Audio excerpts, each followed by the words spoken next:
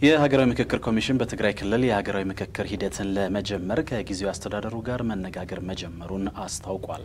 በኦሮሚያ ክልል የጸጥታ ችግር ባለባቸው ዞኖች ለመንቀሳቀስም የክልሉ መንግስት አመቺ ሁኔታ ፈጥር ያለው እንዳለ ከዝግጅት ክፍላችን ጋር ቆይታ ያደረጉት የሀገራዊ ምክክር ኮሚሽነር መላኩ ወልደ ነግረውናል። ኤርሚያስ በጋሻው ነው ያነጋገራቸው።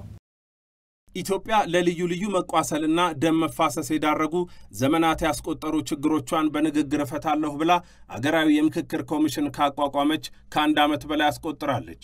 11 አባላት ያሉት ኮሚሽንም ወደ ዋናው አገራዊ ምክክር ጉባኤ የሚያደርሱ በርካታ ቅድመ ዝግጅቶችን ሲያከናውን መቆየቱ የሚታወስ ነው።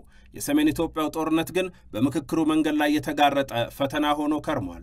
አሁን ይህ ጦርነት በሰላም ስምምነት ተቋጭቶ በትግራይ ክልል ጊዜያዊ አስተዳደር ተመስርቶ ስራ ጀምሯል። በአገራዊ ምክክር ጉዳዮች ዙሪያ በኮሚሽኑ ጽህፈት ቤት ተገኝተን ያነጋገርናቸው ኮሚሽነር መላክ ወልደ ማርያም በትግራይ ሂደቱን ለመጀመር ከጊዜያዊ አስተዳደሩ ጋር ግንኙነት መጀመራቸውን ነግረውናል። ከዚህ ከ peace accord ኡ በኋላ ከዚህ ከሰላም ስምምነቱ በኋላ what are the facts on the ground የሚለውን ነገር ለማየት ነው። officially ያገኛናቸው አካላት የሉም። honest ብለን አይተን ነው የመጣ ነው። ከዛ በኋላ ግን ከተለያዩ እንትኖች ጋር ተገናኝተናል ማለት ወደፊትም ሊያግዙን ከሚችሉ ጋር እንደውም የዚህ የጊዜያዊ አስተዳደሩ ከተቋቋሙ በኋላ ምክንያቱም እሱን ነበር የምንጠብቀው። አስቻ ሁኔታ መኖር አለበት። እዛ ለመግባትም ዝም ብለን ዘው ብለን የምንገባበት ሁኔታ ስለሌለ at least ህጋዊ እውቅና ያለው ተቋም መኖሩ እስከሚረጋገጥ ድረስ መጠበቅ ነበረብን።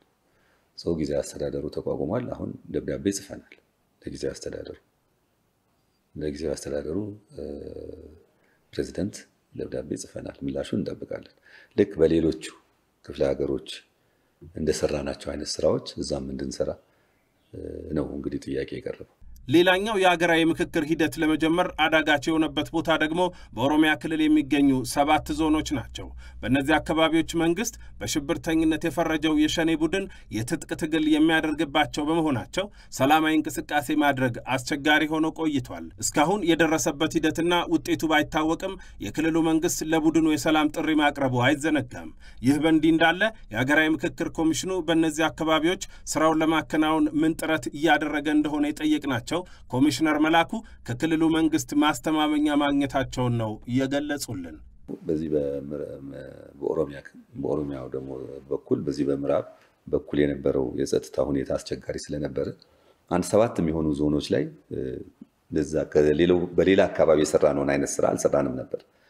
አሁን ሁኔታው የተረጋጋ መሆኑን ይህን ስራ መስራት እንደምንችል ማረጋገጫ የመጣ ስለሆነ እዛም ላይ እንሰራለን።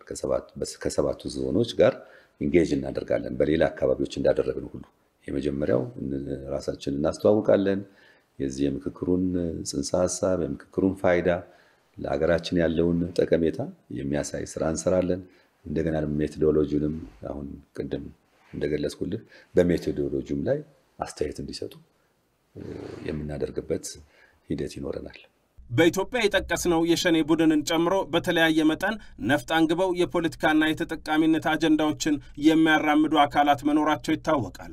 አገራዊ ምክክር ደግሞ ከዚህ መንገድ ፍጹም የተለየ ነው። የትናንት የዛሬና የነገን ጉዳዮች በጠረጴዛ ዙሪያ ውይይት ብቻ ለመፍታት የሚታሰብበት ነው። ኮሚሽነር መላኩ ወልደ ማርያም እንደ ትልቅ የዓመታት የአገረ መንግስትነት እንዲሁም የስልጣኔ ታሪክ እንዳለው አገር የትጥቅ ትግል አይመጥነንም ባይ ናቸው። ኮሚሽኑም ሆነ እርሳቸው ጉልበት ታሪክ መሆን አለበት ብለው ያምናሉ። ምንም ነገር ቢኖረን አስቸጋሪ ሁኔታም ቢኖር የተሻለው መንገድ የሀሳብ ፍጭት የምናደርግበት ሰላማዊ ትግል የምናደርግበት መንገድ ነው የሚሻለው። ምክንያቱም በትጥቅ ትግል የተገኘ ድል አይጸናም፣ ዘለቄታ የለውም። ትጥቅ ትግል ሌላ ትጥቅ ትግል ይወልዳል። አዙሪት ውስጥ ነው የሚከተን፣ አይቆምም። አንዱ ተሸናፊ ሌላው አሸናፊ በሆነበት ሁኔታ አገር ሊጸና አይችልም። ሁላችንም አሸናፊዎች ስንሆን ነው። ሁላችንም በእኩልነት በነፃነት የምንኖርበት እና የሰላም አየር የምንተነፍስበት አገር ሲኖረን ነው ሪሊ ነፃ ወጣን የምንለው። አለበለዚያ ግን ተመሳሳይ ነገር ነው vicious circle ውስጥ ነው የሚከተን። የዓለም የገንዘብ ድርጅት ኃላፊ ክሪስቲና ጂኦርጂቫ ቻይና እንደ ኢትዮጵያ ላሉ ሀገራት የሚደረገውን የዕዳ ሽግሽግ እንድታፋጥን ጠይቀዋል። በቅርቡ በቻይና ጉብኝት ያደረጉት የገንዘብ ድርጅቱ ኃላፊ ለቻይናው የኢኮኖሚ ሚኒስትር ሊኪዋንግ እንደነገሩት እንደ ኢትዮጵያ ላሉ ሀገሮች የተሰጠው ብድር በፍጥነት እንዳይሸጋሸግ የቻይና ዳተኝነት ምክንያት ሆኗል። የቡድን ሀያ ሀገሮች የወጠኑት የኮቪድ-19 የብድር ሽግሽግ መርሃ ግብር የኢትዮጵያ ዋነኛ አበዳሪ በሆነችው ቻይና ምክንያት እየተጓተተ መሆኑ በተደጋጋሚ ሲገለጽ ቆይቷል። በዚህ መርሃ ግብር የብድር ሽግሽግ እንዲደረግላቸው ጥያቄ ካቀረቡ የአፍሪካ ሀገራት መካከል ኢትዮጵያ፣ ዛምቢያና ጋና ይገኙበታል። በቅርቡ ቻይናን የጎበኙት ክሪስታሊና ጂኦርጊቫም ለሰጡት ማሳሰቢያ ከቻይና ባለስልጣናት በጎ ምላሽ ማግኘታቸውን ገልጸዋል። ድርቅ ለተከታታይ ሶስት ዓመታት በመታው የደቡብና ደቡብ ምስራቅ የኢትዮጵያ ክፍል 12 ሚሊዮን የሚሆን ሕዝብ የምግብ ዋስትናው ያልተረጋገጠ መሆኑን የመንግስታቱ ድርጅት ይገልጻል። ድርጅቱ እንደሚለው አካባቢው የኢትዮጵያን ሕዝብ አንድ አስረኛ ድርሻ የሚይዝ በመሆኑ የምግብ ዋስትና ጥያቄው አሳሳቢ ነው። ሮይተርስ ያነጋገራቸው የሰብአዊ እርዳታ ሰራተኞች በድርቁ አደጋ የሰው ህይወት እስካሁን ባያልፍም መጪው ጊዜ ግን አሳሳቢ ነው ይላሉ። በተለይ ሜርሲ ኮፕስ የተባለ ግብረሰናይ ድርጅት ተወካይ ኬት ማላማላንዶ የአካባቢው ነዋሪ ድርቁን የሚቋቋምበት መላ ሁሉ እየተሟጠጡበት መሆኑን ተናግረዋል። የአካባቢው ነዋሪዎች እርዳታ በበቂ አልቀረበልንም እያሉ ሲሆን ሮይተርስ ያናገራቸው የኦሮሚያ ክልላዊ መንግስት ቃል አቀባይ ኃይሉ አዱኛ መንግስት እርዳታውን በአፋጣኝ ባያደርስ ኖሮ ችግሩ የበለጠ የከፋ ይሆን ነበር ብለዋል። በሀገር አቀፍ ደረጃ የምግብ ዋስትናንና የስርዓተ ምግብ ችግርን ለመፍታት ለዓመታት የተሰራው ስራ መሻሻል ሲያስመዘግብ ቢቆይም ከቅርብ ዓመታት ወዲህ ግን ይህ የተባለው መሻሻል መቀዛቀዝ እያሳየ መምጣቱ ተገልጿል። ይህ የተገለጸው የ2022 የዓለም አቀፍ የረሃብ መረጃ ኢንዴክስ ሪፖርት ይፋ በተደረገበት መድረክ ላይ ነው። በመድረኩ የግብርናና የጤና ሚኒስቴሮችን እንዲሁም የአሊያንስ የ2015 ተቋማት ተወካዮች የታደሙ ሲሆን የምግብ ዋስትና ችግር አፈታት መሻሻል ቅናሽ እያሳየ ለመምጣቱ የአየር ንብረት ለውጥ፣ የኮቪድ ወረርሽኝ፣ የዋጋ ንረትና ጦርነት በምክንያትነት ተጠቅሰዋል። በሀገሪቱ የምግብ ዋስትናን ለማረጋገጥና የተመጣጠነ ምግብን ተደራሽ ለማድረግ በሚሰራው ስራ አጋር ድርጅቶች ለጉዳዩ ትኩረት በመስጠት ከመንግስት ጋር መስራት እንደሚገባቸው የጤና ሚኒስቴር ጥሪ ማቅረቡን ከሚኒስቴር መስሪያ ቤቱ የማህበራዊ ትስስር ገጽ ላይ ተመልክተናል።